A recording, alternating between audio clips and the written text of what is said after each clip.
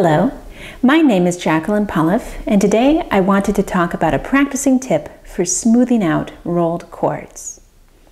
Now, rolled chords or arpeggiated chords are very common on the harp.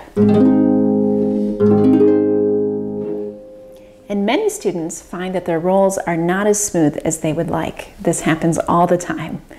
Um, sometimes students will have, um, let's say they're going to play a six note chord, they might have a clump of notes in the middle, so rather than hearing six distinct notes, something like the left hand thumb and the right hand third finger will overlap.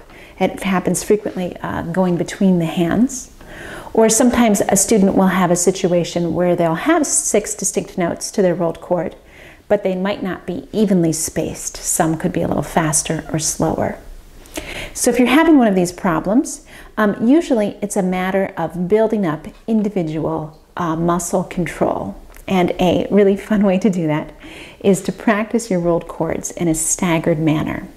So if I take a, a six note chord, three fingers in each hand, what I'm going to do is I'm going to play the left hand third finger, then the right hand third finger, left hand second finger, right hand second finger, left hand thumb, right hand thumb. So you're interlocking the hands. And if you practice that followed by a normal rolled chord, you're really uh, focusing in on the individual muscles for each finger.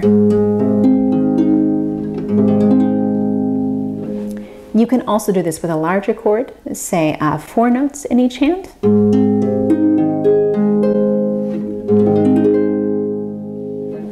And one great way to use this is you could use it as a warm-up. So you could just play um, a scale of chords up and down the harp, alternating between the staggered and the normal rolled. Um, and that I think will really help to build up that muscle control and smooth out the chords.